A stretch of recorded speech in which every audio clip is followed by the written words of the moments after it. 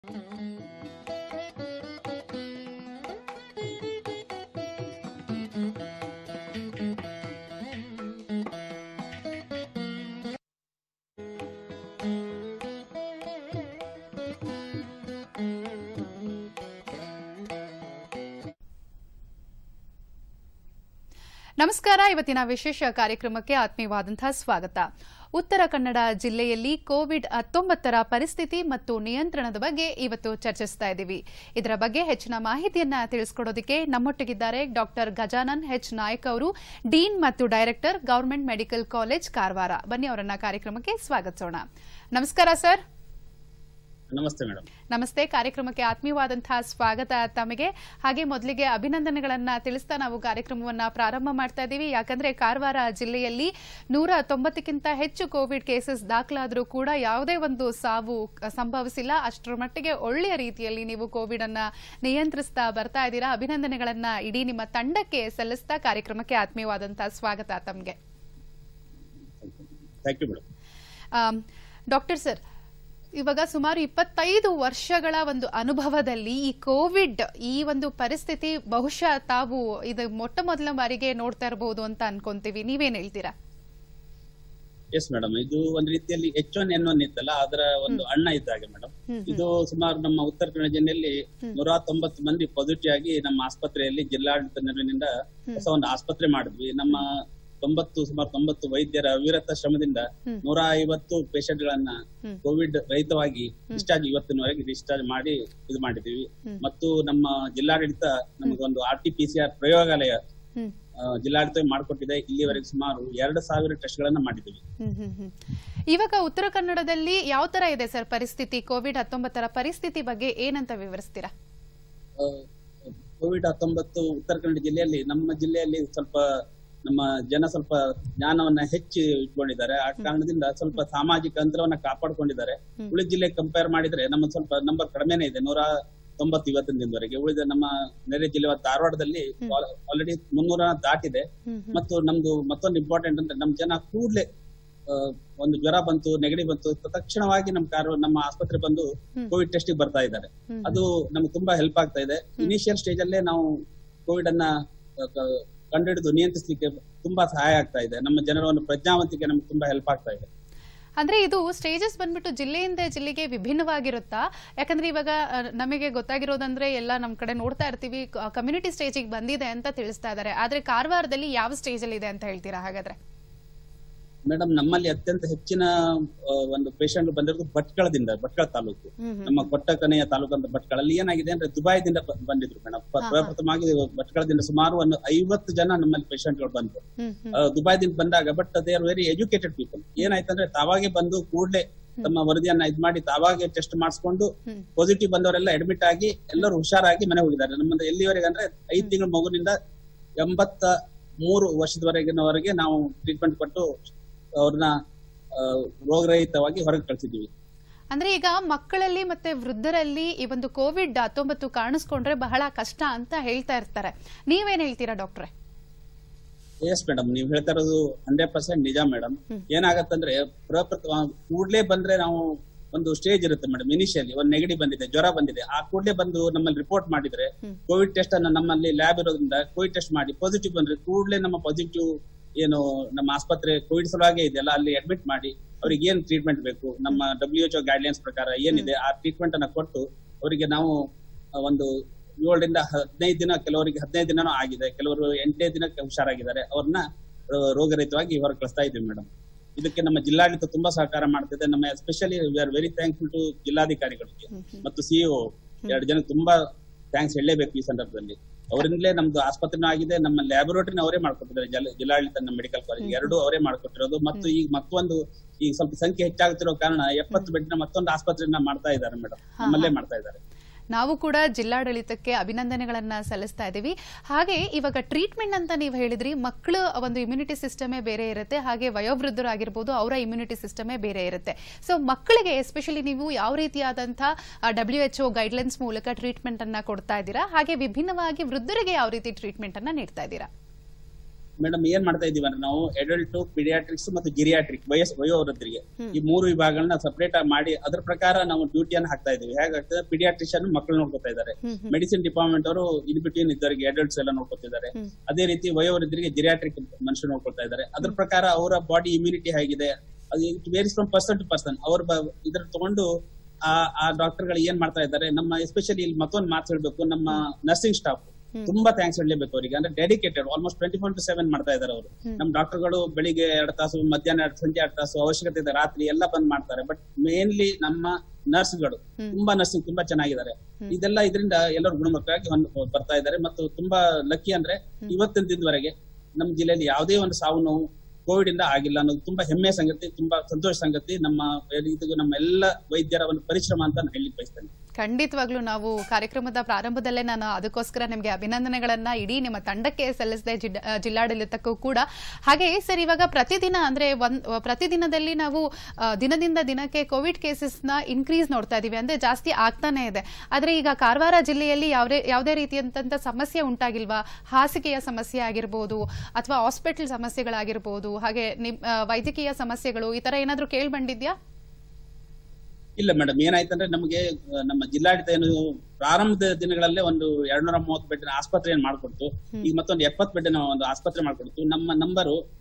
ನಮ್ದು ಏನಾಯ್ತು ಇವತ್ತಿಗೆ ಹದಿನೈದು ಜನ ಬಂದ್ರೆ ಹತ್ತು ಜನ ನಾವು ಡಿಸ್ಚಾರ್ಜ್ ಮಾಡ್ತಾ ಇದ್ವಿ. ಸೊ ನಮ್ ನಂಬರ್ ಒಂದು ನೂರ್ ದಾಟ್ಲೇ ಇಲ್ಲ. ಅಂದ್ರೆ ಒಳಗಿರೋರು ಅಡ್ಮಿಟ್ ಆಗಿರೋರು. ಸೊ ಆ ಕಾರಣದಿಂದ ಯಾವುದೇ ಒಂದು ಪ್ರಾಬ್ಲಮ್ ಆಗಿಲ್ಲ ನಮಗೆ. ಮತ್ತು ನಮ್ಮ ಏನು ಗುಣ ಆಗ್ತಾ ಇದ್ರಲ್ಲ ಗುಣಮುಖರಾಗುವ ಸಂಖ್ಯೆನೂ ಹೆಚ್ಚಾಯ್ತು. ಮತ್ತು ಅದು ಸ್ವಲ್ಪ ಬೇಗನೂ ಆಯ್ತು. ಅದು ಅದು ನನ್ನ ಮಟ್ಟಿಗೆ ನಮ್ಮ ಜನರ ಒಂದು ಇದು ಇನಿಷಿಯಲ್ ಸ್ಟೇಜ್ ಅಲ್ಲಿ ಬಂದ ಕಾರಣಕ್ಕೆ ಬೇಗ ಆಯ್ತು ಅಂತ ನನ್ನ ಅನಿಸಿಕೆ ಮೇಡಮ್ ಇನಿಷಿಯಲ್ ಸ್ಟೇಜಸ್ ಅಲ್ಲೇ ಬರ್ತಾ ಇದಾರೆ ಆ, ನಮ್ಮ ಜನರು ಬುದ್ಧಿವಂತರು ಅಂತ ನೀವು ತಿಳಿಸ್ತಾ ಇದ್ದೀರಾ?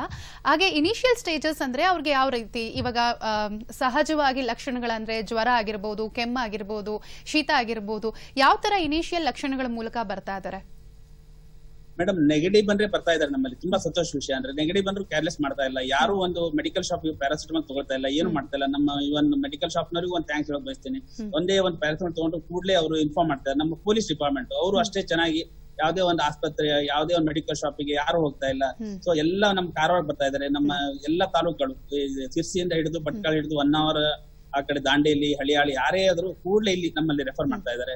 ಕೂಡಲೇ ನಮ್ಮಲ್ಲಿ ನಮ್ಮಲ್ಲಿಯೇ ಲ್ಯಾಬ್ ಇರೋದ್ರಿಂದ ನಾವು ಕೂಡಲೇ ಬೈ ಆರೂವರೆ ತಾಸೊಳಗೆ ಅವರಿಗೆ ಪಾಸಿಟಿವ್ ನೆಗೆಟಿವ್ ಅಂತ ಹೇಳಿ ಕೂಡಲೇ ಅವ್ರನ್ನ ಪಾಸಿಟಿವ್ ಆದ್ರೆ ನಮ್ಮ ಆಸ್ಪತ್ರೆ ಅಡ್ಮಿಟ್ ಮಾಡ್ಕೊಳ್ತಾ ಹ್ಮ್ ಆ ರೀತಿ ಅವ್ರಿಗೆ ಸ್ವಲ್ಪ ಫಾಸ್ಟ್ ಆಗಿ ನಮ್ಮನ್ನ ಆಗ್ತಾ ಇರೋ ಕಾರಣ ನಮ್ಮ ಮಂದಿನ ಒಂದು ಒಂದು ಸಹಕಾರದಿಂದ ಎಲ್ಲ ಬೇಗ ಗುಣಮುಖರಾಗಿ ಹೋಗ್ತಾ ಇದ್ದಾರೆ ಅಂತ ಹೇಳ್ಬೋದು. ಸರ್, ನೀವು ಹೇಳಿದ್ರಿ ಅವ್ರನ್ನ ನಾವು ಚೆಕ್ ಮಾಡ್ತೀವಿ. ಇವಾಗ ಔಷಧಿ ಅಂಗಡಿಯವರು ಕೂಡ ಒಂದು ಪ್ಯಾರಾಸಿಟಮಲ್ ತಗೊಂಡ್ರು ನಮಗೆ ಪೊಲೀಸ್ ಅವ್ರಿಗೆ ಇನ್ಫಾರ್ಮ್ ಮಾಡ್ತಾರೆ ಅಂತ ಹೇಳಿದ್ರಿ. ಅದು ಕೂಡ ಸಂತೋಷಕರವಾಗಿರುವಂತಹ ವಿಚಾರನೇ. ಯಾಕಂದ್ರೆ ಸಮಾಜದಲ್ಲಿ ಇರುವಂತಹ ಎಲ್ಲ ಜನರು ಕೂಡ ನಮ್ಮೊಟ್ಟಿಗೆ ಸೇರಿದ್ರೆ ನಾವು ಈ ಒಂದು ಕೋವಿಡ್ ಅನ್ನ ನಾವು ತಡೆ ಹಿಡಿಬಹುದು ಅನ್ನೋದನ್ನ ತಿಳಿಸ್ಕೊಟ್ರಿ.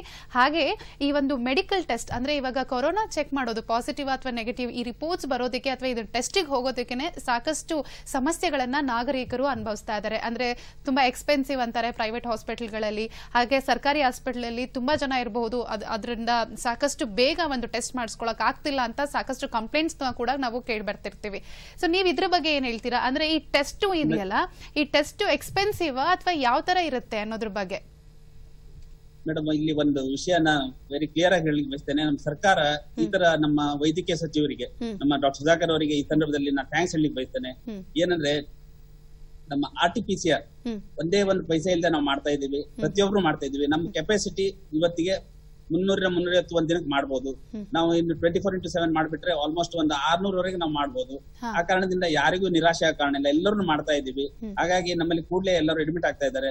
ನಮ್ಮ ನಮ್ಮಲ್ಲಿ ಬಂದ ಬಂದಂತ ಟೆಸ್ಟ್ ಗಳನ್ನ ಕೇವಲ ಆರೂವರೆ ತಾಸುಗಳಲ್ಲಿ ನಮ್ಮ ಮೈಕ್ರೋವೇಜ್ ಡಿಪಾರ್ಟ್ಮೆಂಟ್ ತುಂಬಾ ಥ್ಯಾಂಕ್ಸ್ ಹೇಳಕ್ ಬಯಸ್ತೀನಿ ಆ ಡಿಪಾರ್ಟ್ಮೆಂಟ್ ಇಷ್ಟು ಡೆಡಿಕೇಶನ್ ವರ್ಕ್ ಮಾಡ್ತಾ ಇದಾರೆ ಅಂದ್ರೆ almost twenty four seven work ಮಾಡ್ತಾ ಇದ್ದಾರೆ. ನಮ್ಮಲ್ಲಿ ಯಾವುದೇ ಪೆಂಡಿಂಗ್ ಇಲ್ಲ. ಇವತ್ತಿನವರೆಗೆ ಸುಮಾರು ಎರಡ್ ಸಾವಿರದ ಒಂದೂರು ಕೇಸ್ಗಳನ್ನ ಅವರು ರಿಪೋರ್ಟ್ ಮಾಡಿದ್ದಾರೆ.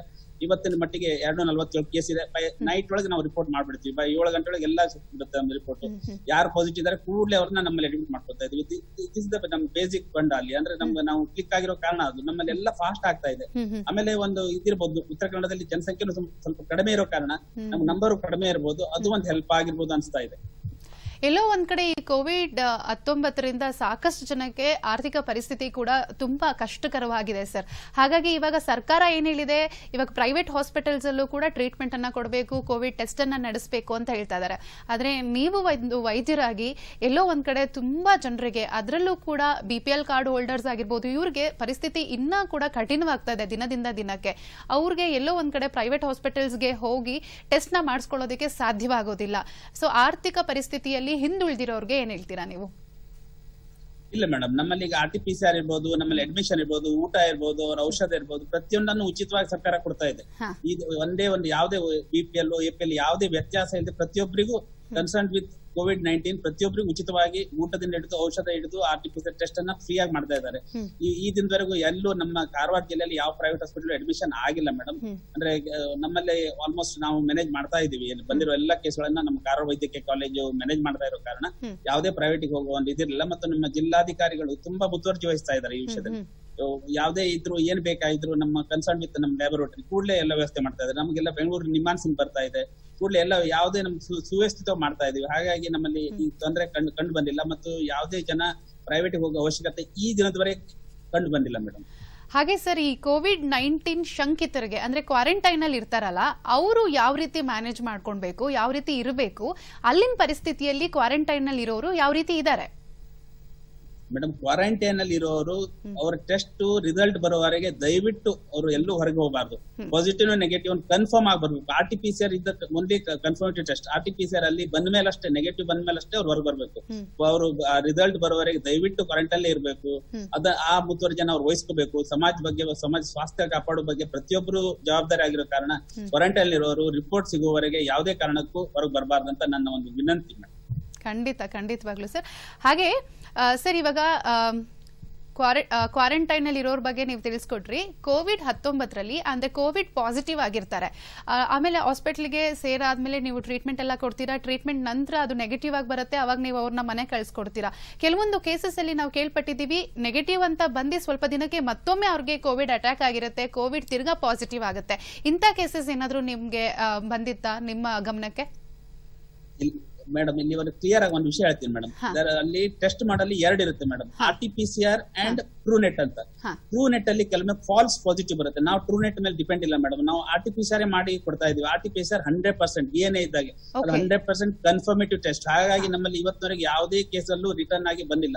ಕೆಲವ್ರ ಕಡೆ ಏನ್ ಒತ್ತಡದಲ್ಲಿ ಕೆಲವೊಂದು ಟ್ರೂ ನೆಟ್ ಅಲ್ಲಿ ಮಾಡಿದ್ದಾರೆ. ಟ್ರೂ ನೆಟ್ ಅಲ್ಲಿ ಫಾಲ್ಸ್ ಪಾಸಿಟಿವ್ ಬಂದಿರೋ ಕಾರಣ ಕೆಲವೊಮ್ಮೆ ಬಂದಿರಬಹುದೇನೋ ನನ್ಗೆ ಗೊತ್ತಿಲ್ಲ ಮೇಡಮ್ ಕೆಲವೊಂದು ಬಂದಿದೆ ಅಂತ ಕೇಳಿದ್ದೀನಿ ಮೇಡಮ್ ನನ್ ನಮ್ಮ ಜಿಲ್ಲೆಯಲ್ಲಂತೂ ಬಂದಿಲ್ಲ ಮೇಡಮ್ ಯಾಕಂದ್ರೆ ನಾವು totally we are depend on R T P C R which is hundred percent confirmative test okay so ಇವಾಗ ಕೋವಿಡ್ ನೆಗೆಟಿವ್ ರಿಸಲ್ಟ್ಸ್ ಬಂದ್ಮೇಲೆ ನ ನೀವು ಮನೆ ಕಳಿಸ್ಕೊಡ್ತೀರಾ ಡಿಸ್ಚಾರ್ಜ್ ಮಾಡ್ತೀರಾ? ಅದಾದ ನಂತರ ಅವರು ಯಾವೆಲ್ಲ ಕ್ರಮಗಳನ್ನ ಕೈಗೊಳ್ಬೇಕು? ಯಾವ ರೀತಿ ಅವರು ಪ್ರತಿನಿತ್ಯದ ಚಟುವಟಿಕೆಗಳಲ್ಲಿ ತಮ್ಮನ್ನ ತಾವು ತೊಡಗಿಸ್ಕೊಬಹುದು? Basic thing madam positive attitude madam ಅವರು ಪಾಸಿಟಿವ್ ಆಟಿಟ್ಯೂಡ್ ಬದುಕಲಿ ಆಮೇಲೆ ತಮ್ಮ ಶುಚಿತ್ವನ ಕಾತ ಕಾಪಾಡ್ಕೊಳ್ಳಿ ಪರ್ಸನಲ್ ಶುಚಿತ್ವ. ನಂಬರ್ ತ್ರೀ ಸಾಮಾಜಿಕ ಅಂತರವನ್ನ ಕಾಪಾಡ್ಕೊಳ್ಳಿ. ಬೇರೆಯವರಿಗೂ ಅದ್ರ ಬಗ್ಗೆ ಸ್ವಲ್ಪ ಉಪದೇಶ ಮಾಡ್ಲಿ. ಒಂದು ಸಾಮಾಜಿಕ ಸ್ವಾಸ್ಥ್ಯವನ್ನು ಕಾಪಾಡ್ಲಿ. ಇಷ್ಟೇ ಇರೋದು ಮೇಡಮ್ ಬೇಸಿಕ್ ಎಜುಕೇಶನ್ ಅವ್ರಿಗೆ ಒಂದು ಬೇರೆಯವರಿಗೆ ಹೀಗಾಗಿತ್ತು ಇದೇನು ಅಲ್ಲ ಇದೇನು ದೊಡ್ಡ ಇದಲ್ಲ ಇದು ಕೋವಿಡ್ ನೈನ್ಟೀನ್ ಹುಷಾರಾಗಿ ಬರಬಹುದು ಒನ್ಲಿ ಥಿಂಗ್ ನಾವು ಸಮಯಕ್ಕೆ ಸರಿಯಾಗಿ ಹೋಗಿ ಆಸ್ಪತ್ರೆಯಲ್ಲಿ ಉಪಚಾರವನ್ನು ಪಡೆದ್ರೆ ಆರಾಮಾಗಿ ಬರಬಹುದು ಅಂತ ಒಂದು ಮೆಸೇಜ್ ಅನ್ನ ಸಂದೇಶವನ್ನ ಸಮಾಜಕ್ಕೆ ಸಾದ್ರೆ ಸಾಕು ಮೇಡಮ್. ಆಮೇಲೆ ದಿನನಿತ್ಯ ಕಾರ್ಯಕ್ರಮದಲ್ಲಿ ತೊಡ್ಕೊಳ್ಬಹುದು ಅವರು. ಓಕೆ ಡಾಕ್ಟ್ರೆ ಹಾಗೆ ಒಂದು ಪಾಸಿಟಿವ್ ಅದಾದ್ಮೇಲೆ ನೆಗೆಟಿವ್ ರಿಸಲ್ಟ್ಸ್ ಬರುತ್ತೆ ಡಿಸ್ಚಾರ್ಜ್ ಮಾಡ್ತಾರೆ ಪೇಷಂಟ್ಸ್ ಮನೆಗೆ ಹೋಗಿ ನಾರ್ಮಲ್ ಆಗಿರ್ತಾರೆ. ಆದರೂ ಕೂಡ ಸಮಾಜದಲ್ಲಿ ಎಲ್ಲೋ ಒಂದು ಕಡೆ ಅವರನ್ನ, ನಾವು ಎಷ್ಟೇ ಕೊರೋನಾ ವಾರಿಯರ್ಸ್ ಅಂತ ಟ್ರೀಟ್ ಮಾಡಿ ಅಂತ ತಿಳಿಸ್ಕೊಟ್ರು ಕೂಡ ಇದು ಒಂದು ರೆಗ್ಯುಲರ್ ಕಾಯಿಲೆ ತರ ನಾವು ಟ್ರೀಟ್ ಮಾಡಿ ಅಂತ ಅಂದ್ರೂ ಕೂಡ ಅಕ್ಕಪಕ್ಕ ಮನೆಯವರಾಗಿರ್ಬೋದು, ಭಯಭೀತರಾಗಿರ್ತಾರೆ. ಅಂಥವ್ರಿಗೆ ಚಂದನ ವಾಹಿನಿಯ ಮೂಲಕ ಏನ್ ಹೇಳೋದಕ್ಕೆ ಇಷ್ಟಪಡ್ತೀರಾ?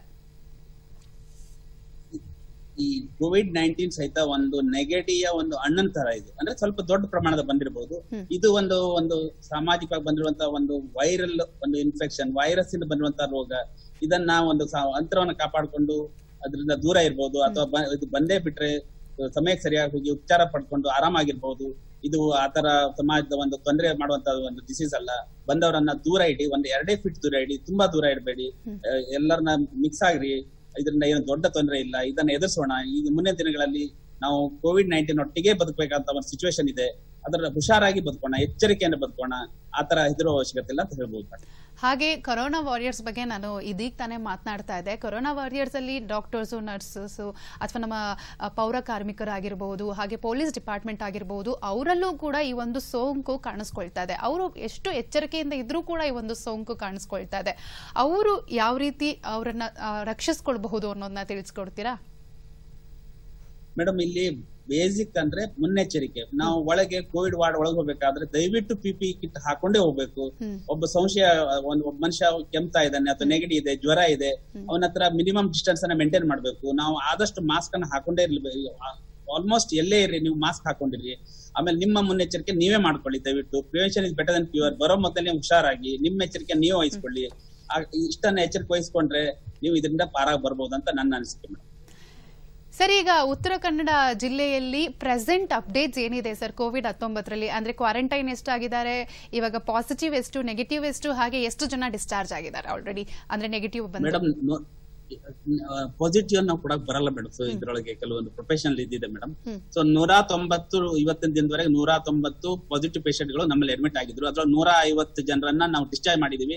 ಆಕ್ಟಿವ್ ಆಗಿ ಇವತ್ತು ನಲವತ್ತು ಜನ ಆಕ್ಟಿವ್ ಆಗಿದ್ದಾರೆ. ಅದ್ರೊಳಗೆ ಮೂವತ್ತೊಂಬತ್ತು ಜನ ಅಸಿಂಪ್ಟೋಮೆಟಿಕ್ ಅಂದ್ರೆ ಆಲ್ ರೈಟ್ ಓನ್ಲಿ ಒಂದೇ ಒಂದು ಪೇಷಂಟ್ ನಮ್ಮ ಒಂದು ಆಕ್ಸಿಜನ್ ಇದ್ರ ಮೇಲೆ ವೆಂಟಿಲೇಟರ್ ಮೇಲೆ ಇದ್ದಾರೆ. ಒಂದೇ ಒಂದು ಪೇಷಂಟ್ ಸ್ವಲ್ಪ ಇದ್ದಾರೆ. ಇವನ್ ಆ ಪೇಷಂಟ್ ಸಹಿತ ಸ್ಟಡಿ ಆಗಿದ್ದಾರೆ. ಸೊ ಕೇವಲ ನಲ್ವತ್ತು ಪೇಷಂಟ್ ಆಕ್ಟಿವ್ ಪೇಷಂಟ್ ಇದ್ದಾರೆ ನಮ್ಮಲ್ಲಿ. ನೂರ ಐವತ್ತು ಜನರನ್ನ ನಾವು ಡಿಸ್ಚಾರ್ಜ್ ಮಾಡಿ ಕಳಿಸಿದೀವಿ total number of covid nineteen Uttara Kannada ಜಿಲ್ಲೆಯಲ್ಲಿ ನೂರ ತೊಂಬತ್ತು ಮೇಡಮ್ ಸರ್ ಇವಾಗ ಡಿಸ್ಚಾರ್ಜ್ ಆಗಿರ್ತಾರಲ್ವಾ? ಆ ಪೇಷಂಟ್ಸ್ ಫಾಲೋಅಪ್ಸ್ ಏನಾದ್ರು ಮಾಡ್ತಾ ಇದ್ದೀರಾ?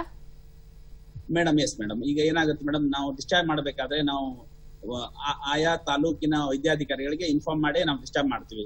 ಮಾಡಿದಾಗ ಅವ್ರಿಗೆ ಹದಿನಾಲ್ಕು ದಿನ ಅವ್ರು ಕಾಯ್ತಾರೆ ಮೇಡಮ್ ಹದಿನಾಲ್ಕು ದಿನದವರೆಗೆ ಯಾವುದೇ ಒಂದು ಸೈನ್ ಸಿಂಟಮ್ಸ್ ಬರಲಿಲ್ಲ ಅಂದ್ರೆ.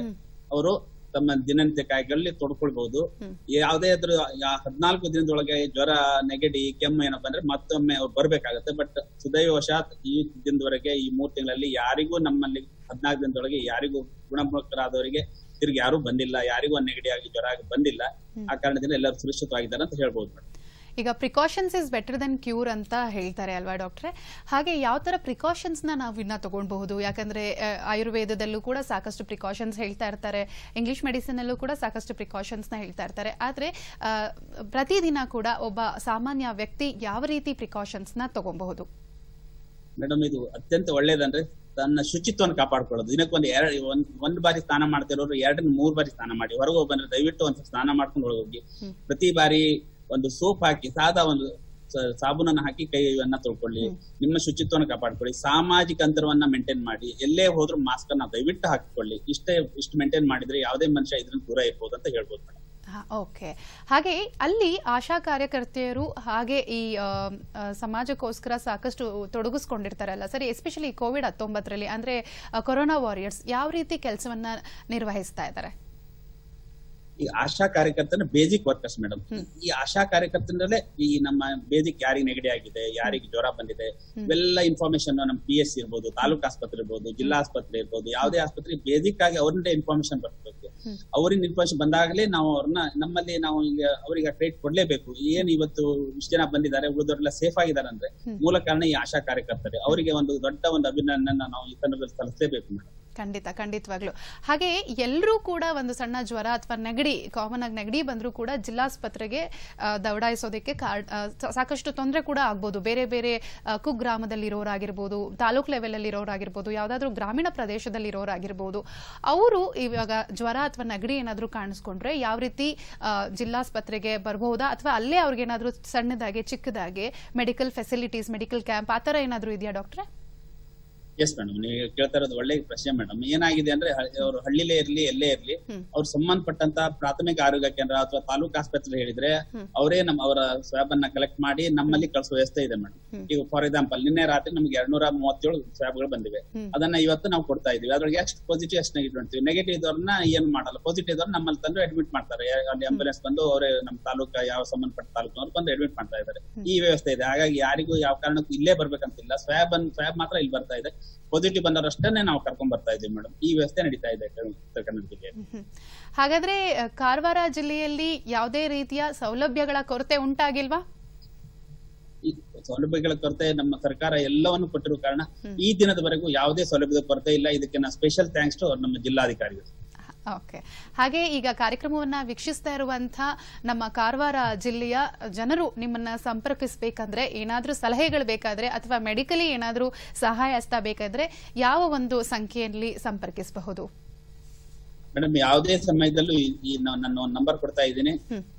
ಏಳು ಎರಡು ಒಂಬತ್ತು ಒಂಬತ್ತು ಒಂಬತ್ತು ಎಂಟು ಮೂರು ಒಂದು ಒಂದು ಒಂದು ಈ ನಂಬರಿಗೆ ಸಂಪರ್ಕಿಸಿದ್ರೆ ನಾನು ನೇರವಾಗಿ ಸಂಪರ್ಸಬಹುದು ಆದ್ರೆ ಜನಿನ್ ವಿದೌಟ್ ಯಾವುದೇ ಒಂದು ಸಿಲ್ಲಿ ಕಾರಣ ಬೇಡ, ಏನೇ ನಿಜವಾದ ಪ್ರಾಬ್ಲಮ್ ಇದ್ರೆ ಸಂಪರ್ಕಿಸಬಹುದು ಖಂಡಿತವಾಗ್ಲು. ಯಾಕಂದ್ರೆ ಸಾಕಷ್ಟು ಜನ ಈ ಒಂದು ಸಮಸ್ಯೆಯಿಂದ ಬಳಲ್ತಾ ಇರ್ತಾರೆ ಕೋವಿಡ್ ಹತ್ತೊಂಬತ್ತರ ಸಮಸ್ಯೆಯಲ್ಲಿ. ಅಂತವರು ಹೆಚ್ಚಿನ ಮಾಹಿತಿಗಾಗಿ ಈ ಒಂದು ಹೆಲ್ಪ್ ಲೈನ್ ನಂಬರ್ನ ತಗೊಳ್ಬಹುದು ಏಳು ಎರಡು ಒಂಬತ್ತು ಒಂಬತ್ತು ಒಂಬತ್ತು ಎಂಟು ಮೂರು ಒಂದು ಒಂದು ಒಂದು. ಏಳು ಎರಡು ಒಂಬತ್ತು ಒಂಬತ್ತು ಒಂಬತ್ತು ಎಂಟು ಮೂರು ಒಂದು ಒಂದು ಒಂದು. ಹಾಗೆ ಈ ಒಂದು ಹೆಲ್ಪ್ಲೈನ್ ಸಂಖ್ಯೆಗೆ ನೀವು ಕರೆ ಮಾಡಬಹುದು. ಕರೆ ಮಾಡಿ ಹೆಚ್ಚಿನ ಮಾಹಿತಿಯನ್ನು ಪಡ್ಕೊಬಹುದು. ಮೆಡಿಕಲ್ ಎಮರ್ಜೆನ್ಸಿ ಇದ್ರೆ ದಯವಿಟ್ಟು ಕಾಂಟ್ಯಾಕ್ಟ್ ಮಾಡಿ. ಜ್ವರ, ಕೆಮ್ಮು, ನೆಗಡಿ ಯಾವುದೇ ಒಂದು ಥ್ರೋಟ್ ಇನ್ಫೆಕ್ಷನ್ ಆಗಿರ್ಬೋದು ಥ್ರೋಟ್ ಪೇನ್ ಆಗಿರ್ಬೋದು, ಗಂಟಲು ಕೆರೆತ ಆಗಿರ್ಬೋದು, ಯಾವುದೇ ಒಂದು ಸಣ್ಣ ಸಮಸ್ಯೆ ಬಂದರೂ ಕೂಡ ಅದನ್ನು ನೆಗ್ಲೆಕ್ಟ್ ಮಾಡದೆ ಹೆಲ್ಪ್ಲೈನ್ ನಂಬರ್ಗೆ ಕಾಲ್ ಮಾಡಿ ಅಂತ ಹೇಳ್ತಾ ಮತ್ತೊಮ್ಮೆ ಡಾಕ್ಟರನ್ನು ನಾನು ಕೇಳ್ತಾ ಇದ್ದೀನಿ. ಇವಾಗ ಕೊನೆಯದಾಗಿ ನೀವು ಕಾರ್ಯಕ್ರಮವನ್ನು ವೀಕ್ಷಿಸ್ತಾ ಇರುವಂಥ ಎಲ್ಲ ವೀಕ್ಷಕರು, ಕಾರವಾರದ ಜನತೆಯೊಟ್ಟಿಗೆ ಎಲ್ಲ ವೀಕ್ಷಕರು ಕೂಡ ಕಾರ್ಯಕ್ರಮವನ್ನು ವೀಕ್ಷಿಸ್ತಾ ಇದ್ದಾರೆ. ಡಾಕ್ಟ್ರೆ ನೀವೇನ್ ಹೇಳಕ್ ಇಷ್ಟಪಡ್ತೀರಾ? ಕೋವಿಡ್ ನೈನ್ಟೀನ್ ಯಾರು ಭಯಭೀತರಾಗುವ ಒಂದು ಅವಶ್ಯಕತೆ ಇಲ್ಲ. ಇದು ಒಂದು ಸಾಮಾನ್ಯ ಬೇರೆ ರೋಗ ತರಾನೇ ಇದು ಒಂದು ರೋಗ. ಇನ್ ಮುಂದಿನ ದಿನಗಳಲ್ಲಿ ನಾವು ಇದರೊಟ್ಟಿಗೆ ಬದುಕಬೇಕು ಅಂತ ಒಂದು ಸಂದರ್ಭ ಬರ್ಬೋದು. ಮೂರ್ತಿಯಾಗಿ ಹೋಗ್ಲಿಕ್ಕಿಲ್ಲ ಅಲ್ಲಲ್ಲಿ ಸ್ವಲ್ಪ ಸ್ವಲ್ಪ ಇರಬಹುದು ಎಲ್ಲಿವರೆಗೆ ಮನುಷ್ಯ ತನ್ನ ಪರ್ಸನಲ್ ಶುಚಿತ್ವನ ಕಾಪಾಡ್ಕೊಂಡು, ಸಾಮಾಜಿಕ ಅಂತರವನ್ನು ಕಾಪಾಡ್ಕೊಂಡು ಹೋದ್ರೆ ಈ ರೋಗದಿಂದ ಮುಕ್ತನಾಗಿ, ಆರಾಮಾಗಿ ಬದುಕಬಹುದು ಅಂತ ಹೇಳ್ತೀವಿ. ಇಲ್ಲಿವರೆಗೂ ನಮ್ಮ ಕಾರ್ಯಕ್ರಮದಲ್ಲಿ ಭಾಗವಹಿಸಿ ಕಾರವಾರ ಜಿಲ್ಲೆಯಲ್ಲಿ ಕೋವಿಡ್ ಹತ್ತೊಂಬತ್ತರ ಪರಿಸ್ಥಿತಿ ಮತ್ತು ನಿಯಂತ್ರಣದ ಬಗ್ಗೆ ಹೆಚ್ಚಿನ ಮಾಹಿತಿಯನ್ನ ತಿಳಿಸ್ಕೊಟ್ರಿ. ಡಾಕ್ಟರ್ ತಮಗೆ ಧನ್ಯವಾದಗಳು. ಮತ್ತೊಮ್ಮೆ ನಿಮ್ಮೆಲ್ಲ ತಂಡದವರಿಗೆ ಅಭಿನಂದನೆಗಳನ್ನು ಸಲ್ಲಿಸ್ತಾ ಇದ್ದೀವಿ ನಮಸ್ಕಾರ. ಇದಾಗಿತ್ತು ಇವತ್ತಿನ ವಿಶೇಷ ಕಾರ್ಯಕ್ರಮ.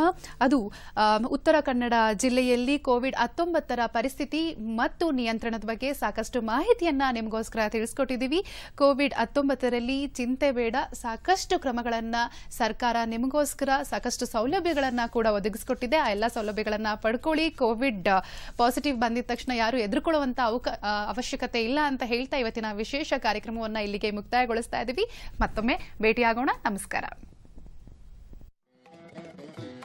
Thank you.